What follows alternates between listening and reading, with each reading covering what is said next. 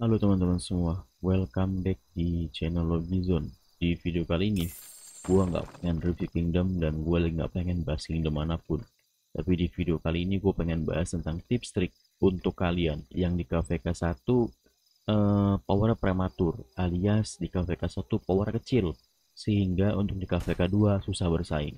Ya video kali ini gue pengen bahas gimana caranya untuk power-power kecil yang di KVK, yang di KVK 1 prematur Gimana caranya supaya mereka di KPK 2 nanti bisa bersaing dengan power yang cukup sepadan atau dengan nikatin power untuk KPK 2 lah bisa dibilang biar powernya maksimal untuk KPK 2 jadi kalau masih tetap dengan video gue kali ini let's go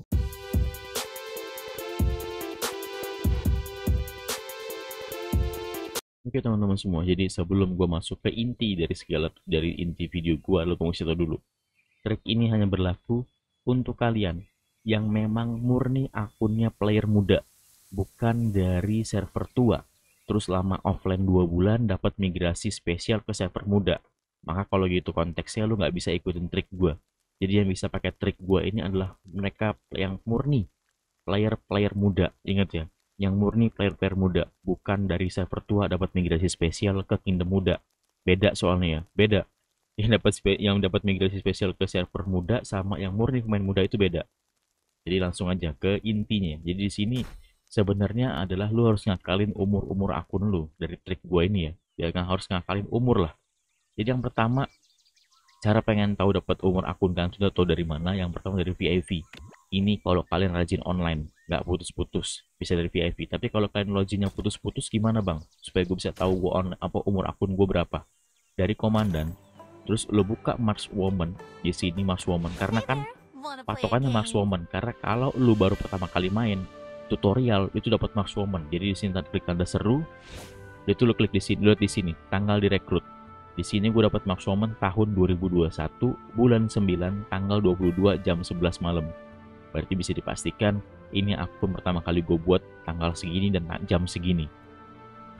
Di kalau dihitung-hitung dari sekarang umur akun gue udah sekitar 231 hari. Nah, jadi ingat ya, pokoknya ini penting. Umur akun penting harus lo tahu untuk bisa jalanin trik ini. Karena kalau kalian nggak tahu umur akun kalian, ini akan repot banget. Tapi kalau kalian rajin online enak hitungannya. Tinggal buka VIP, maka di sini akan ketahuan umur akun kalian udah berapa. Soal rajin online aja gitu ya. Ini langsung aja gue masuk ke pembahasan intinya. Setelah gue ngasih tahu cara tahu umur akun kan, yang pertama itu gue main di server 2448 cuman di sini perjalanannya gue hitung dari 2445 karena 248 ke 245 itu gak ada pengaruhnya buat trik ini. Jadi trik ini mulai bisa dijalanin ketika gue dari 245 lah. Tapi kok kan bukan main di 245 tetap bisa gitu. Ini gue kasih cerita gue aja. Uh, jadi gue pertama kali main di 245 itu kalau kalian main di server berapapun ya di sini gue pakai patokan 245 bukan berarti harus di 245 enggak terserah kalian mau main di server berapa terserah tapi ini perjalanan gue ketika gue main 245 dulu gue selesai KVK 1 di 245 selesaikan KVK 1 di server kalian masing-masing lah biar enak ngejelasinnya gue ya biar kalian cepet nyambung. Selesaikan KVK 1 di kerajaan kalian masing-masing tanpa migrasi ke mana-mana selesain aja dulu. Mau kalah mau menang selesain aja. Yang pertama. Dan yang kedua ketika masuk proses KVK 2 nah di sinilah mulai berjalan triknya. Ketika masuk di KVK 2 kan power kalian tuh ada yang prematur tuh. Udah di KVK 2 tapi power gue masih kecil bang. Gimana sih triknya biar bisa 30 juta kayak lu? Maka di sini triknya adalah mulai jalan ketika fase KVK 2 nggak apa-apa ikutin aja. Power kecil lo diikutin di KVK 2 nggak masalah. Tapi nanti sebelum pas 5 ini open atau lebih tepatnya ketika Well of Fortune Alec muncul ingat ya Well of Fortune Alec muncul di hari itu juga lo harus migrasi ini berkorban lu harus berkorban sih. Lu harus ninggalin kingdom lu. Supaya power bisa bersaing lagi. Jadi inget konsepnya ya. Sebelum pas di ini open ada namanya Well of Fortune Alex. Event dapetin komandan Alex.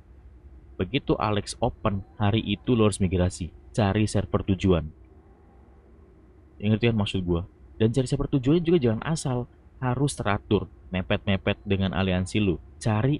Karena kalau kalau lu migrasinya asal lu malah lu bakal ngelewatin proses lu yang bisa dua sampai tiga kali migrasi supaya bisa bersaing. Tapi kalau migrasi lu asal lu sama aja sih. Gua rasa lu nggak akan nemu nggak akan bisa naikin power juga kalau migrasi lu asal. Gua kasih tahu triknya. Sebelum pas 5 open tunggu Wheel of Fortune Alec keluar hari itu migrasi.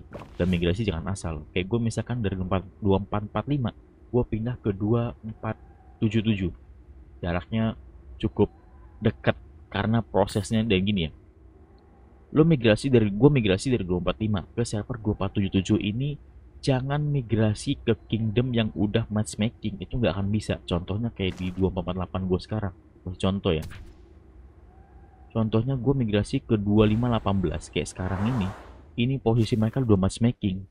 Itu nggak bisa migrasi lagi kalian. Maka carilah kingdom yang sebelum matchmaking. Biasanya ketika Alex itu muncul uh, satu hari sebelum matchmaking. Misalkan Alex itu muncul di 245. Berarti di server terbarunya, di server terbaru kayak gue gini yang mau KVK2, besoknya mereka matchmaking. Maka gue bilang tadi, usahakan ketika Alex sudah keluar di Wheel of Fortune harus migrasi hari itu juga. Karena kalau nunggu besok, besoknya matchmaking udah nggak bisa migrasi lagi berarti lo lewatin satu kesempatan migrasi lo lewatin satu kesempatan momen lo buat naikin power jadi intinya gitu ya Alex muncul langsung migrasi dan cari server yang mau KVK 2 bukan KVK 1 lagi cari cari server yang mau ke KVK 2 contohnya gue kasih contoh lagi berdetail ya gue dari 2445 gue pindah ke 2477 lo bisa lihat. Berarti ada ada kemajuan kan?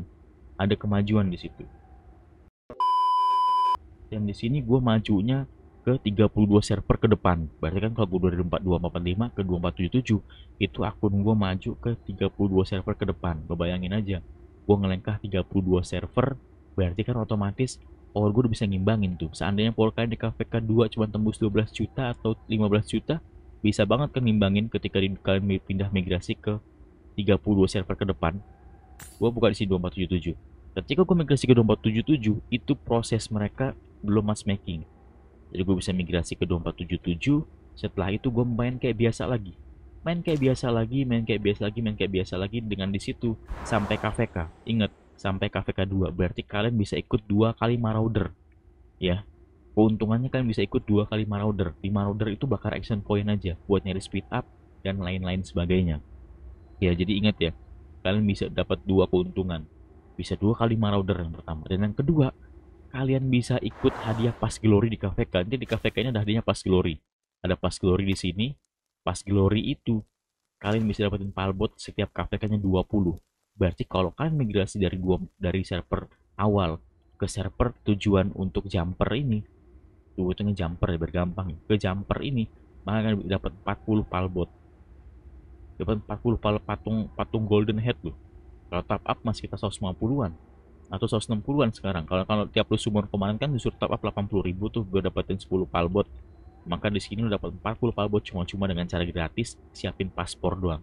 Ingat majunya ke 32 server ke depan atau kurang nggak masalah. Intinya paling jauh ya paling bagus, tapi jangan terlalu jauh. Karena kalau kalian migrasi ke 35 server ke atas kejauhan, minimal ke 32 lah, minimal supaya bisa maksimalin migrasi sebanyak mungkin. Ya. Jadi main di server ini, ikutin pas glory, ikutin event-event di KVK, dapetin speed up, tapi ingat, jangan bakar action point kalian di KVK ini, karena ya kalian kan bakal migrasi lagi gitu loh. Intinya ambil hadiah secukupnya, seperlunya aja. Sama seperti kalian main di kingdom awal kalian. Jadi, migrasi lagi ke server terbaru, 32 terbaru ke depan. Jangan yang paling baru ya, ingat ya, 32 dari server kalian. Dari 2445 Contohnya 245 ke 32 server ke depan, berarti 2477 kayak punya gua. Patokannya 32 server gitu aja sih. Nah, setelah kalian main di server 24 di 32 ke depan, contohnya 2477 kayak gua gini, main lagi kayak biasa. Ingat sebelum pas pas 5 ini open, nih pas 5 yang ini masuk ke zona zona selanjutnya ini. Sebelum zona selanjutnya ini open, Well of Fortune Alec muncul, kalian migrasi lagi migrasi lagi. Contohnya gue dari 2477 migrasi ke 2518. Gue migrasi 41 41 kingdom ngelewatin. Jadi dari 2477 ke 2518 ini berarti gue ngelengkahin 41 kingdom. Lo bayangin aja, gue ngelengkahin 32 kingdom, udah itu 41 kingdom, maka power gue bisa tercapai 30 juta.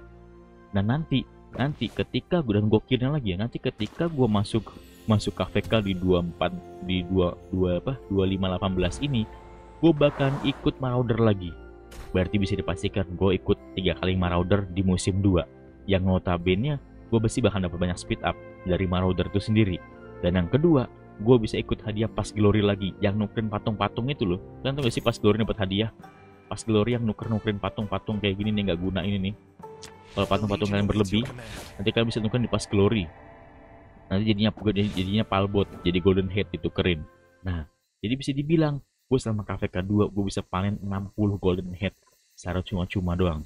Nanti gue di KVK 2518 gue bisa nukerin lagi golden headnya maka di sini power gue 30M sebelum pas KVK 2 mulai. Berarti di sini gue bisa bersaing banget di sini dan usahakan ya, usahakan kalau kalian ikut cara gue, tujuan kingdom terakhir kalian bisa dibilang ini terakhir ya. Berarti cuma bisa, cuma bisa dua kali migrasi. Ini tujuan terakhir kalian. Syukur-syukur kalian bisa manfaatin sampai tiga kali migrasi itu udah paling bagus, syukur-syukur ya. Tapi di sini gue cuma bisa manfaatin dua kali migrasi.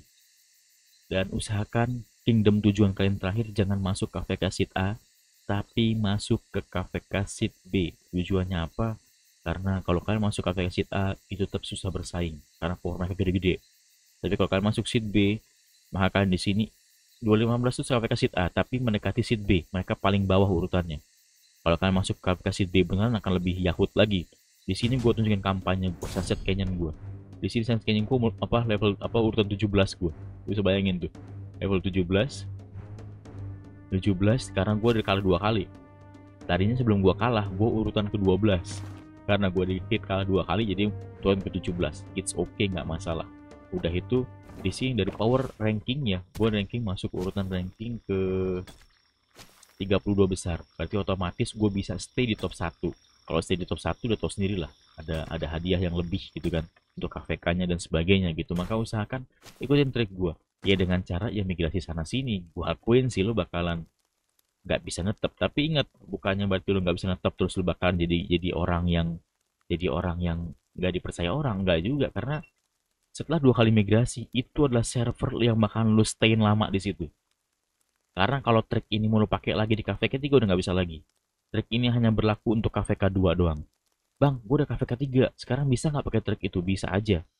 Udah KVK 3 bisa aja pakai trik ini pokoknya ini, ini trik KVK bisa dipakai di KVK berapa ya? tapi jangan penting jangan sampai masuk KVK 4 karena kalau masuk KVK 4 musim penaklukan itu kingdom musim penaklukan itu yang bisa masuk siapa aja tanpa limit. Jadi pakai kalau pakai trik ini gua rasa bakal bonyok juga di mana-mana. Akan susah bersaing karena emang pada basicnya di KVK 4 powernya udah tanpa limit. Tapi kalau di KVK oh, tapi idealnya di KVK 2 ideal di KVK 2 kalau KVK 3 menurut gua udah kurang ideal juga. Kenapa? Karena di KVK 3 power yang bisa masuk itu udah 60 orang. Karena di KVK 2 kan 30 orang limit. Di KVK 3 tambah 30 orang lagi. Berarti 60 orang tuh limit maksimal masuk. Berarti kingdomnya udah udah banyak player-player dari server tua. Maka paling menurut gua paling efisien, paling yang maksimalin bisa bisa kayak gini adalah untuk KVK 2. Karena kalian hanya bersaing dengan 30 orang imigran dari cross season, sementara dari same musim itu kan bebas masuk. Jadi inilah kenapa gue migrasi sana sini.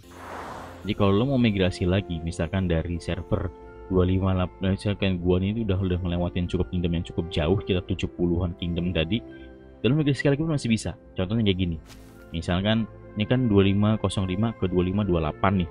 Gue masih bisa migrasi lagi ke server 2529an yang mereka lagi KVK. Itu bisa lagi gue migrasi ke sana. Cuman kayaknya gue rasa capek gue migrasi lagi dan gue rasa power gue juga udah cukup maksimal di sini. 30 juta. Jadi gue rasa gue akan stay di sini sampai KVK 3 dan baik lagi usahakan lu kalau migrasi terakhir itu masuk KVK Seat B. Jangan KVK Seat A supaya power bisa bersaing. Dan dipastikan juga kalau lu pakai cara trik gue ini jumper jumper jumper ini sampai server terserah mau dua kali atau tiga kali maka dipastikan kalian punya satu komandan legend expert di sini. Bahkan kalian bisa nabung palbot di sini gue udah nabung sekitar 42 tergantung VIP kalian masing-masing ya. Kau usahakan ikutin event-event berhadiah palbot udah itu usahakan VIP kan lebih bagus. Jadi di sini pakai trik gua ya sedikit sedikit ngaco sih jam sana sini. Ya, resikonya sih kalau kalah enak tinggal tinggal pindah-pindah aja. Yang beresiko tuh kalau kingdom kalian tuh menang. Itu yang kalian bahkan dilema banget. Kingdom gua menang saya gua harus jumper lagi supaya bisa maksimalin power di KVK 2 karena kalau lu dari karena kalau lu terlambat konsepnya kalau lu terlambat lu main sampai KVK SOC tiba-tiba mau migrasi KVK 2 lagi udah nggak bisa udah nggak bisa lagi lo kayak gitu konsepnya karena kan pakai slot. Tapi kalau lo ngakalin kayak gini lo bisa bebas tanpa slot ke mana aja. Yang penting usia kingdom lo sama usia akun lo nggak lebih dari 90 hari. Ya teman-teman semua. Kalau masih bingung gue jelasin lagi misalkan usia akun login lu 200 hari yang penting lu jangan migrasi ke server yang usia akunnya 291 hari. Gitu aja hitungannya. Spare 90 hari tadi kan gue udah di awal mulai kalian paham lah ya. Oke teman-teman semua jadi sampai sini video kali ini gimana cara maksimalin power KPK 2 supaya maksimal bagi F2P gue rasa kalau Sultan atau Lost Spender nggak perlu pakai trik gue karena trik gue hanya berlaku untuk F2P doang yang emang dia kebutuhan untuk ningkatin power biar bisa bersaing di KPK 2 terutama yang di KPK 1 nya powernya prematur yang dipindah dan sebagainya untuk orang aktif lah. Maka bisa pakai trik gue atau yang udah aktif pun bisa maksimalin power pakai trik gue juga Oke teman-teman semua, jadi sampai sini video kali ini. Sampai ketemu di next video selanjutnya dan bye-bye.